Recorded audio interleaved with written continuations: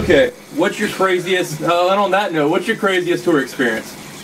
I guess my most rock and roll experience was uh, was the Stumpknockers up in New Hampshire, where Josh is from. And it's a different breed of people, but they're still rednecks, but it's like almost more extreme, you know. And this guy, Really? this evening it started off. We were going to take this cruise on Lake Sunapee, and uh, it's the lake where the Aerosmith guys met. So they all Okay. from around that area. And on this little boat, and we have have developed a good. Josh is very social and has a lot of friends, and that, that created a huge fan base and bands that he'd been with. So us being up there was like was a big thing.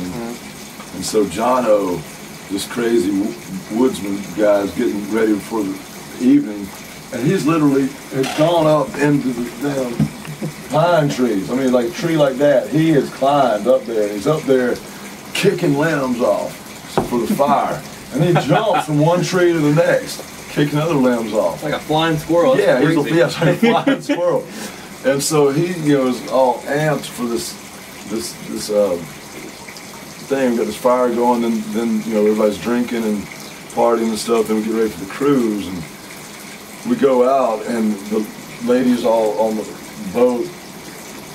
You know, we jam this boat. Probably holds 85 people. So we got about 150 people on it. It's upstairs and downstairs. So sometimes the boat is going like this, you know, it's leaning, so and, and people would have to just like, no, no, people get over here. Know. Everybody to the left. Oh yeah, and um, the bartender was this real stuffy lady, and she's all starting to get free because everybody wants a beer. You know, they can't bring their own beer on, but you got a hundred people wanting a beer, and they're going out on the lake, and we're There's starting. one bartender. Yeah, and we're starting to play, so they're already people are kind of getting pissed off. We get out there, and we're supposed to be a two-hour thing. Well, an hour, 15, hour and 20 into it, the captain said, this is nuts, because people are banging on the ceiling of the thing. I mean, it's just starting to work itself into a frenzy. We've been playing, and it's like people are sweating, and then finally these two Australian dudes dove off into the water, and we're trying to get back on. That captain just lost it. He called the police, and it's a small town, so you had cops from three different counties greeting us when we were coming back in. And uh, the Aus- Australian guys apparently had uh, swam under something, gone. They, they got away from the boat. And we're coming in, and everybody on the boat's thinking, we've been gypped. We're supposed to be out here for two hours. And they start wrecking the boat. And they're just pounding it.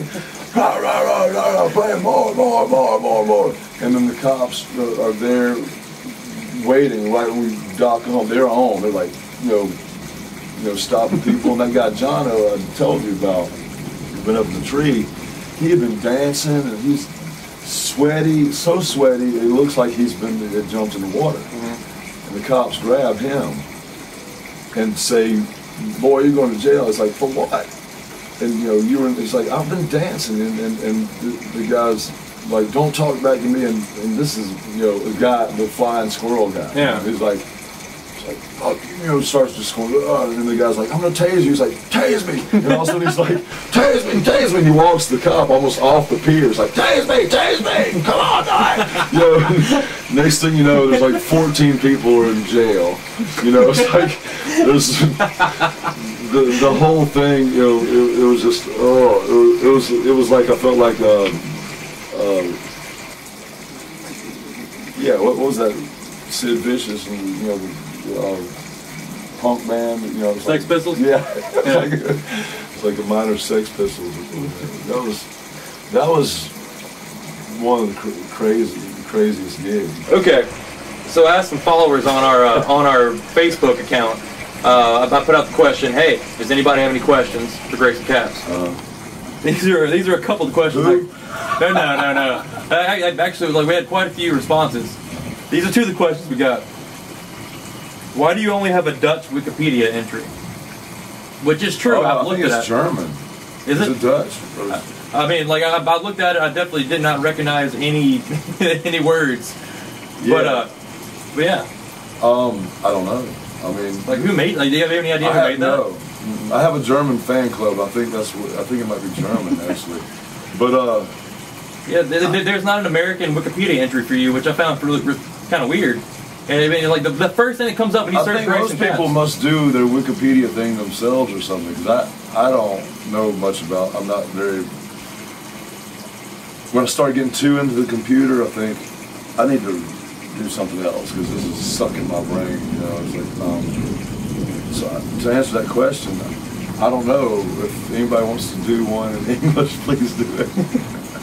Yeah, I just found that really strange because like it- It's strange to me. I was, I was ex- excited that I had a Wikipedia thing at all. I was thinking, man, everybody's got Wikipedia but me. And then one day I looked, I was like, I've got one. I, I think I don't know who did this. And the facts are kind of iffy, you know. It's like, all right, well, I mean, like, it, it- I mean, like it's decently long too. Like whoever did it really put some like time into it. Like yeah, you know, like yeah. yeah, but like that, that was one of the that was one of the fan questions we had today. Oh, good one. Okay. The other was, what do you do to take care of your, and this is quote unquote, awesome beard whenever uh, whenever it's long and, when, and whenever, uh, like basically they want to know if you shampoo, you condition it. Like, someone wants to know what you do with your beard. uh, Nature's Gate, uh, tea tree, shampoo and conditioner. Right on. That's going to make somebody really happy. Although, yeah, summertime, I don't like that. It's going to be coming off more. I hear you. Not shaving. Who is the best live band or live bands that you've that you've seen? Like your favorite performances that you've Um, actually witnessed? Uh, Nick Cave and Bad Seeds. Um, the House of Blues in New Orleans, Mhm. probably like eight years ago. Um, Doc Watson, probably about 20 years ago.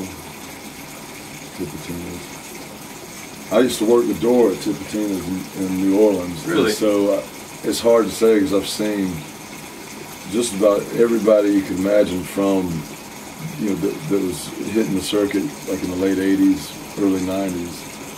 Um, You ever been starstruck meeting somebody? Yeah, that was Nick Cave. I mean, it's Right just on. weird. It's, it's, it's retarded. I was playing in uh, London, and uh, I was doing some shows all over England, and I had a tour manager, and she was saying, you know, if, if there's anybody you'd like to see while you're here in London, who would you like to see? I was like, it'd be cool to see Nick Cave. I've always been a fan of his.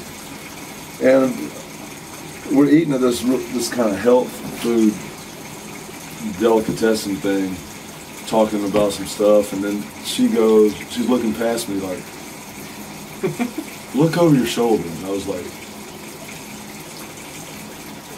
wow, it was Nick Cave. You know, it was like they're ordering a, ordering a sandwich, you know. That's So I go up to him and I'm like, hey man, I'm you know Grayson Capps, I'm a fan of your music, and I was started getting blushing and you know it was just like you know, I see people do that to me, you know, and they're like, I can't believe I'm meeting you. It's like, oh, do you understand? Like I do understand. I, you know, do the same thing as you know when I met Nick Cave. You know, it's retarded, you know, it's all, but it's it's fun. I like having that energy. Like I met Tom T. Hall in Nashville. I met Emmylou Harris, and those are the same kind of things where you're like, Yeah, Yeah. maybe Lou, that'd be crazy.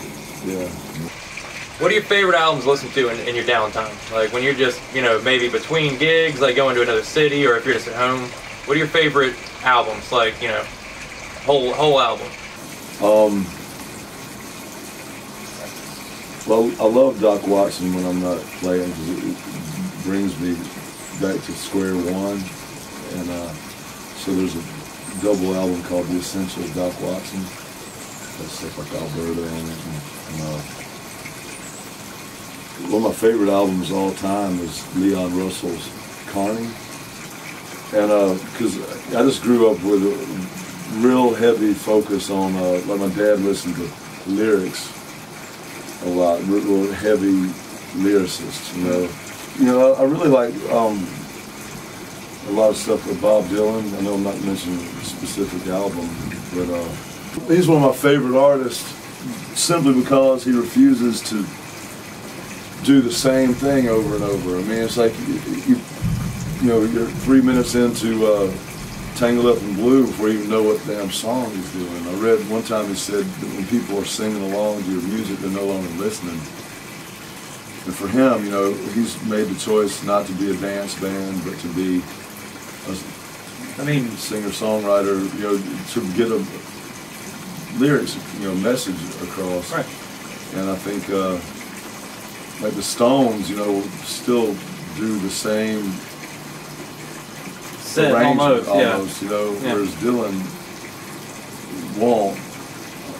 But you know, he does still go back to the old stuff. But that you know, that opened the door to uh, Woody Guthrie to me, and then that opened the door to like Sonny Terry and Brownie McGhee and Lightning Hopkins, and then you get Howlin' Wolf and Muddy Waters, and that has a whole different. It's like haiku, you know, you know where the minimal lyrics, but they're they're badass, you Yeah. know, because they cover so much more than a very verbose writer. You know? Right. New Orleans music has heavily influenced me.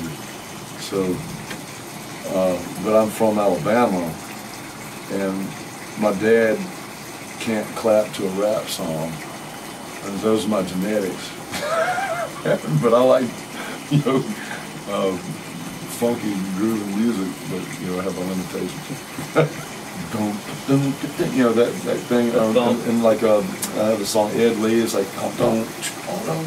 but I mean that kind of counter thing. I like I like a, a counter rhythm, the back, the offbeat. You know, Mm-hmm. like uh, I think Jon Cleary talks about it, where you know, say what is funk? It's like well, funk is where you you refuse to do the obvious beat.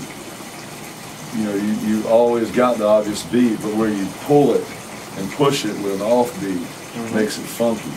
You know, and you can't rely on always doing offbeat because then that will be the beat. So you gotta Gotta you switch it gotta up, gotta switch keep it moving. around, you know, and and uh, that's kind of where I can. That last record, I've come up with the concept of rock and roll. It's like, you know, let's make it rotten because to me it feels rotten when you do that, but it's kind of a method to the madness. One last question. I like to end all my interviews with this, que- this same question. I feel it's like it's profound. Everyone's got a good answer for it. That's gonna put me on the spot. No, be like you think it will. It won't. I got I got a bottle opener if you need it, but I'm sure you don't. I always have, end every interview with this.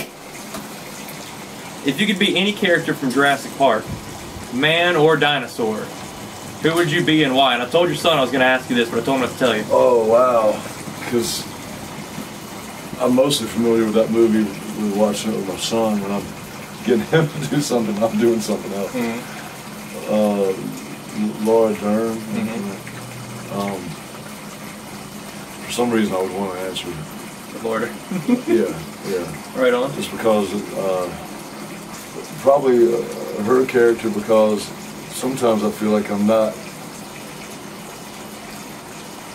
I, I tend to, you know, watch a lot of things happen and be part of it and try to be informed, but I'm not the controlling uh, factor. I mean, it's, it's Observing more than Yeah. less, orchestrating, I guess. Yeah, and also fragile too. You know, a lot more fragile than uh, if you're a cross between that or that damn you know T Rex that they from sheep to. You know, because I, I got a part of that in me too. but just like That- that- some- that's just be- about the best answer I think I've ever gotten.